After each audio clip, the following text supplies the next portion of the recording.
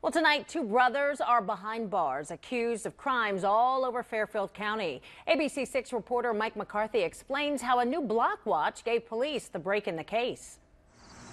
Neighbors in the village of Baltimore look out for each other, but Danny's Murray denies I don't think so. being a nosy neighbor.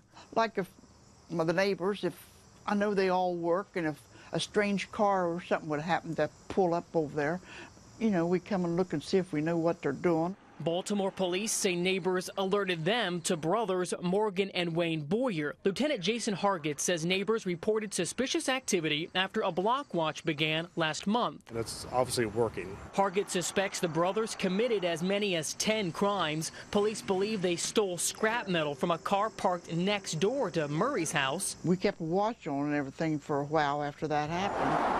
Plywood covers the damage from a break-in at Bernie's Barn and Grill, where police say one of the brothers worked. The crimes aren't isolated just here in Baltimore. Investigators say they have linked the pair to other incidents, both in Thurston and in Pleasantville, including the theft of air conditioner units.